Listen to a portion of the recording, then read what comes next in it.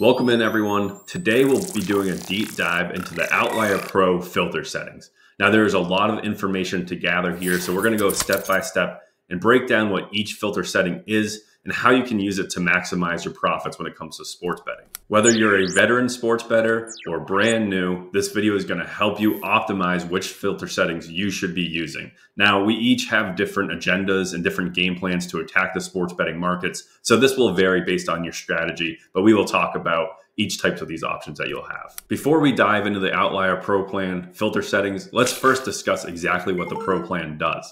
Now, this is a top down service, which gives us the ability to find positive expected value bets in the sports betting market. Essentially, what Outlier does is it scans multiple sports books and compares their prices and odds so that we can identify outliers that have really good prices and present an edge to the other books. Now, Outlier also has a bunch of these filter settings that we're going to talk about, what makes it really easy to identify these plays and customize exactly what plays you want to look for, whether you have a more aggressive strategy or maybe a safer approach.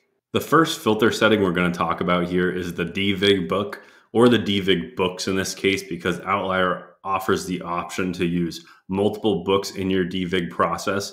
If you don't know what the devig process is, essentially what you're doing is you're selecting a list of sports books to remove the VIG from or the tax to find a fair value of that line and then use that fair value to scan the rest of the market and find your edge.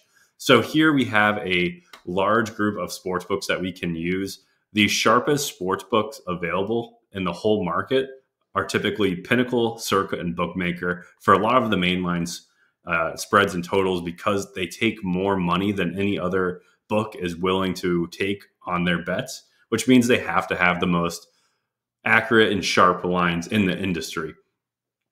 So in this setting right here, what we can do is require which books we want used in the devig process.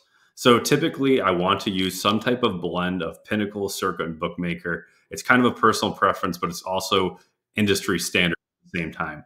What I typically like to do is use all three of these books as optional. That means if any one of these books pop up as presenting value to the market, it'll flag the play. If you want to be even more selective and more kind of conservative to your approach, you can go down here and select the minimum number of books. So typically, if you want to be conservative, you could require that at least two of the sharp books you selected have the odds set for a particular line and then compare it to the market. The more books you add to your devig process, the more you can trust that your fair value is accurate. So you can select the number of minimum books, and then you can also go into uniform weight. And this is giving more weight or less weight to each sports book that you have selected in the devig process. So, for example, if you think Pinnacle is maybe sharper in the NFL, you could weigh them maybe 100 compared to the 50 circa 50 bookmaker. And this isn't percentage based. You have to think of this as parts. So this would be, you know, 100 parts Pinnacle, 50 parts circa, 50 parts bookmaker in this blend. And this is something that you can play with uh, moving the sliders up and down. It's really easy to customize whichever blend you would like. And that's pretty much the devig process. Like I said, this is the most important thing to nail. Uh, put in some research to figure out which books are sharpest and which markets before you uh, go crazy here. But Pinnacle, Circa Bookmaker are pretty much the standard in the industry to use as fair value prices. So great things here in this filter setting. The next filter setting we're going to talk about is the devig method. Now, there are four different devig methods listed here. We have the multiplicative, the additive, the Shin, and the power method. Now, the reason there are four different devig methods and there isn't just one that covers it all is because we don't know exactly where the VIG or the tax lies in each set of odds. Sometimes it is more put on the favorite and sometimes it is put on the underdog. We don't really know. So, using different devig methods, we can get a better uh, picture of where the VIG is placed.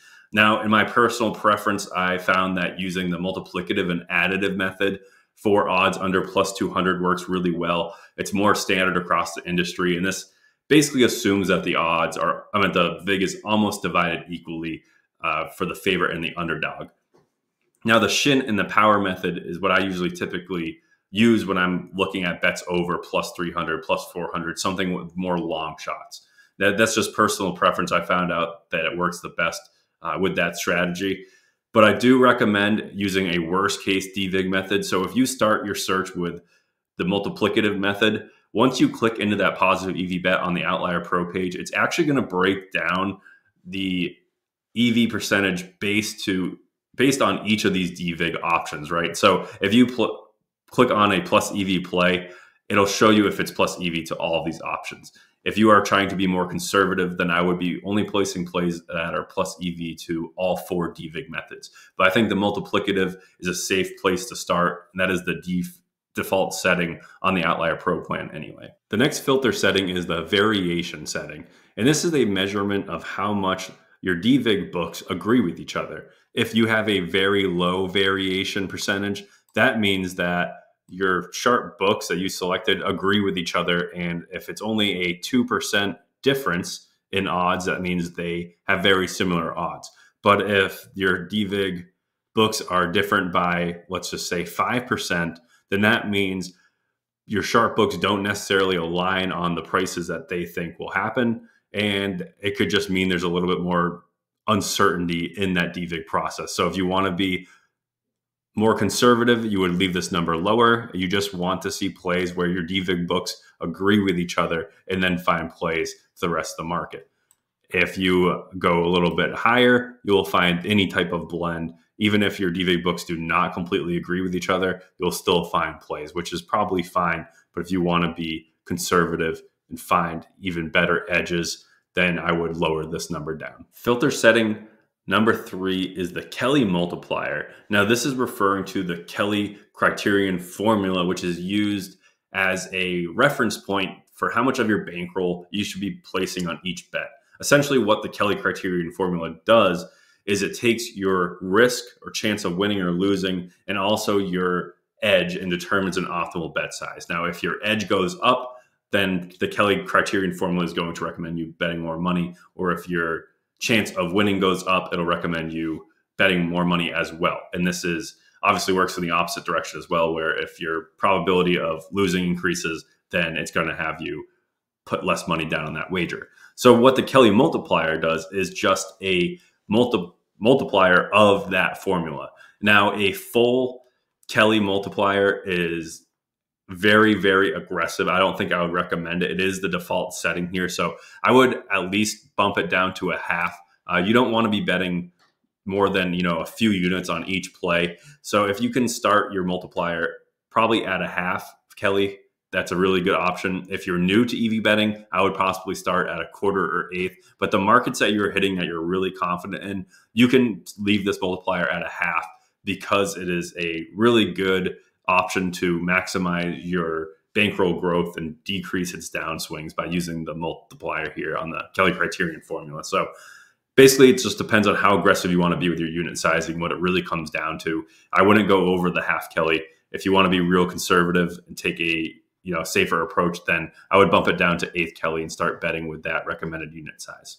The next filter setting we're going to look at here is the minimum EV percentage. Now this is pretty simple. This is how big of an edge do you want before it appears on the Outlier Pro plan. So sometimes I will leave this at zero and I will scan the market for any positive EV bet. But sometimes if I want to be more conservative, I'll bump this up to two or 3%. If you're just starting sports betting, I recommend leaving this at around that 3% range. It's going to give you really good edges and decrease the variance you're going to see because you're betting larger edges. The one thing I will say, increasing your EV percentage you're probably not going to find as many main market plays like spreads, totals, or money lines because these markets are pretty efficient and books don't cast themselves as huge outliers with like 5% EV plays because they are real efficient markets. Now, player props, you might find 10% EV plays, you might find 12% EV plays, but when it comes to spreads, totals, and money lines, you're it's really unlikely to find more than 3% EV. So depending on what you're looking for here, you can adjust your EV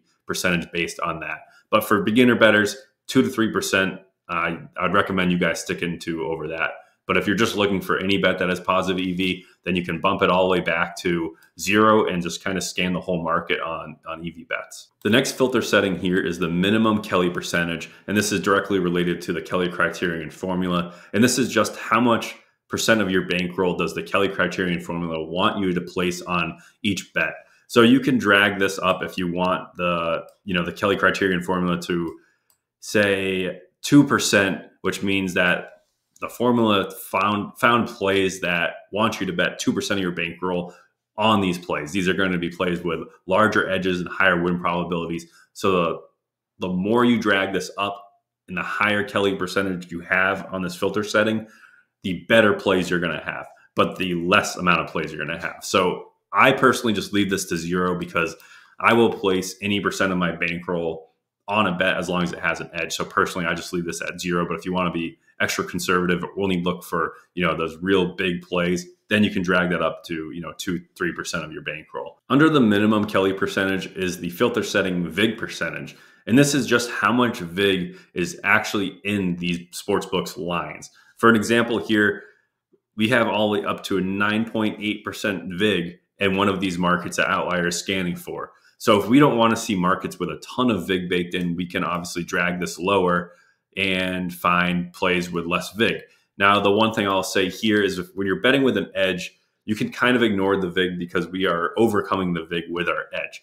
But what adjusting VIG percentage will do is let's just say these high markets with a ton of VIG are, are probably like home run hitter props. They're probably, you know, maybe triples, like a lot of these obscure, maybe some three point player props, a lot of these obscure player prop markets with a lot of variance and a lot of VIG baked in. If you want to stick to more traditional betting, like spreads, totals, money lines, maybe even like first quarter plays like that, you're going to see most of those plays popping up, you know, under 5% in VIG. So if you want to see all the crazy long shot bets, you're probably going to have to set your VIG percentage up to show everything. But if you're sticking to plays with lower VIG and more mainline stuff, then you can set your VIG percentage much lower. This next setting here is the no VIG fair odds.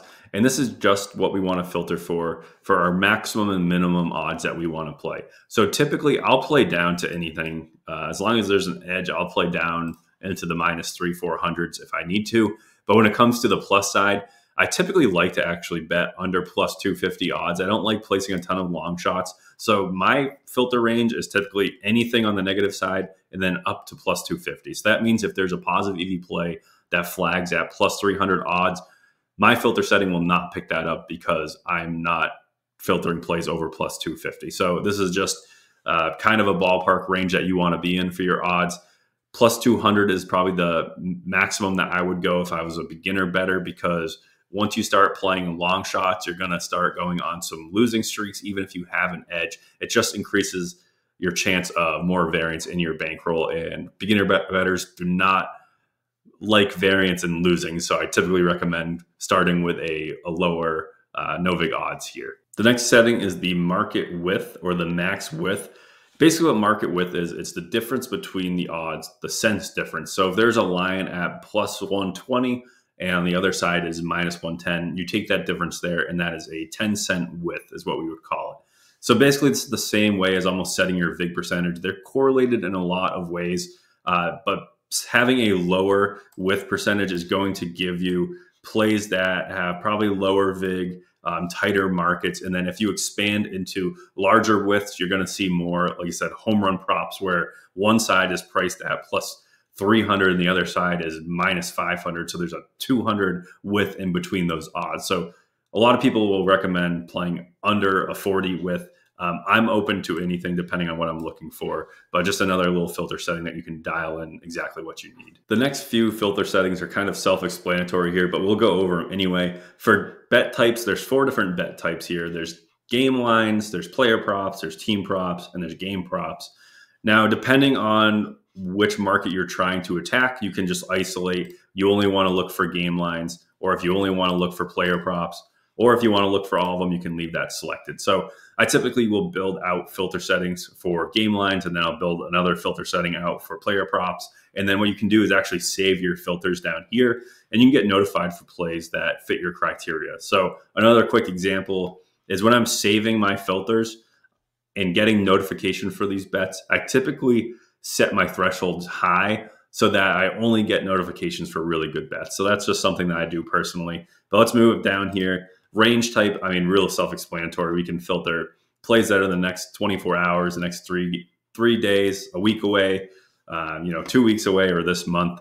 Uh, just you know, if you're looking for events in the next 24 hours, that's typically what I look for. It's hard to find value on events that are really far out. The leagues, uh, same type of thing here. We got a bunch of soccer leagues we can filter through. We have the main markets, the NBA, MLB, NHL. That's just what's going on right now. Outlier obviously has football and stuff like that, but it's just not in season.